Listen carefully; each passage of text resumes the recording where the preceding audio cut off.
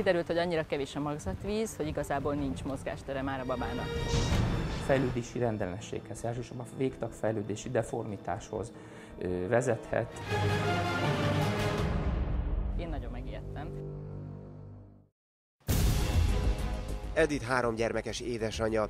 Első két terhessége komplikációmentes volt. Harmadik kisfiáért, a ma már hat éves Ádámért azonban jobban kellett aggódni. Edith terhességének 29. hetében úgy döntött, hogy 4D-s ultrahangos vizsgálatot csináltat, ahol azonban problémák merültek fel. Akkor derült ki, hogy tulajdonképpen nem tudják megcsinálni ezt az ultrahangot, mert kevés a magzatvíz. Ez az ultrahangvizsgálat mutatott rá a komoly veszélyre. A kismama ekkor kereste fel dr. Sikovanyec Jánost. Ebbe a terhességi korban eh, ez, a, ez az állapot, az úgynevezett oligohidramnion fejlődési rendellenességhez, elsősorban a végtag fejlődési deformitáshoz vezethet, gyakran a, hátráltatja a tüdő kifejlődését is ez a kevés magzatvíz. A magzatvíz szerepe, hogy védje a magzatot és optimális mozgásteret biztosítson a számára az anyamében. A magzatvíz hiánya, vagy ellenkezőleg a túlzottan nagy mennyisége általában azonban koraszüléshez vezethet.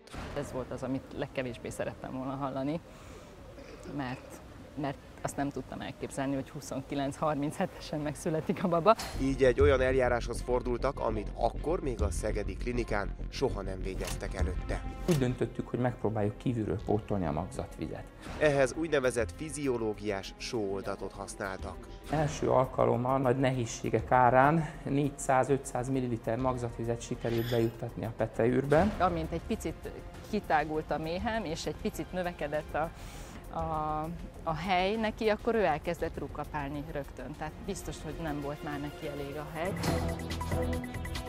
A beavatkozás tehát jól sikerült, azonban az eljárás magában hordozza a szülés megindulásának lehetőségét is, ami Edith esetében is bekövetkezett.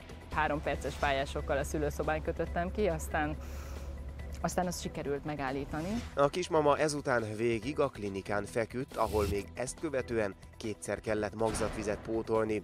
A terhességet így a 36. hétig sikerült tartani. Amikor is azt tapasztaltuk, hogy a magzat keringése nem megfelelő, a kördögzsírorban kóros áramlást mértünk. Ezért azonnali sürgőségi császármetszést hajtottak végre. Hála a gyors és szakszerű orvosi beavatkozásnak a kis Ádám 2650 grammal és 50 cm-rel született, teljesen egészségesen. Sikovanyez doktor és kollégái azóta már több mint 20 ilyen jellegű beavatkozást végeztek. Edith magzatvíz fogyásának egyébként nem volt egyértelmű oka, de itt a példa, hogy egy bizonyosan komplikációkat magában hordozó eset a szakértők által megfelelően kezelhető.